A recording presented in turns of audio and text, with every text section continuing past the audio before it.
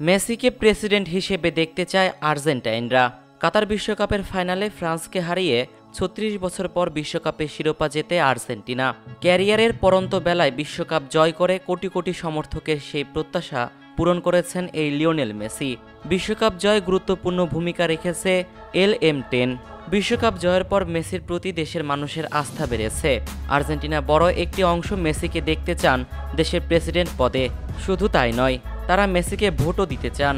আর্জেন্টিনার তথ্য বিশ্লেষণী ও জনমত জরিপ প্রতিষ্ঠান জ্যাকোব্বে অ্যান্ড অ্যাসোসিয়াদোস এর এক জরিপে উঠে এসেছে এ তথ্য।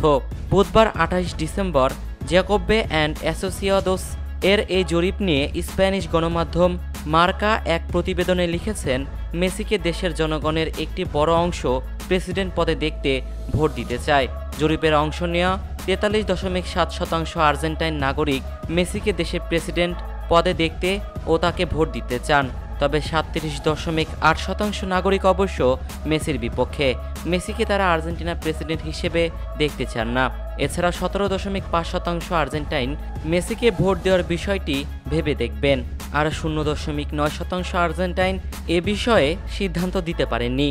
মার্কা তাদের প্রতিবেদনে আরও লিখেছে, মেসি তার দেশের রাজনীতিবিদদের চেয়ে বেশি ভোট পেয়েছেন। আর্জেন্টিনার অধিনায়ক একাই পেয়েছেন সাঁত্রিশ দশমিক সাত শতাংশ ভোট। রাজধানীর বুয়েন্স আইরেসের ফেডারেল ডেপুটির দায়িত্ব পালন করা রাজনীতিবিদ হাভিয়ার মিলেই পেয়েছেন বারো শতাংশ ভোট। আর্জেন্টিনার সাবেক প্রেসিডেন্ট ক্রিস্টিয়ানা ফার্নান্দেস কির্সনার পেয়েছেন এগারো দশমিক তিন শতাংশ ভোট। রাজনৈতিক দল রিপাবলিকান প্রপোজালের প্রধান ও মরিসি ম্যাক্রি প্রেসিডেন্ট থাকতে নিরাপত্তা মন্ত্রীর দায়িত্ব পালন করা প্যাট্রিসিয়া বুলরিখকে আট দশমিক আট শতাংশ ভোট দিয়েছেন। ছয় দশমিক নয় শতাংশ ভোট পেয়েছেন সাবেক প্রেসিডেন্ট মরিসিও ম্যাক্রি।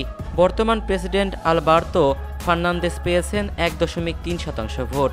এর বাইরে আরও তিন চারজন রাজনীতিবিদকেও ভোট দিয়েছে আর্জেন্টাইনরা, তবে কেউ তিন শতাংশ ভোটও পাননি। ফ্রেন্ডস, এই ছিল আজকের ভিডিও। প্রতিনিয়ত এমন খেলাধুলার ভিডিও পেতে আমাদের এই চ্যানেলটি সাবস্ক্রাইব করে রাখুন। ধন্যবাদ।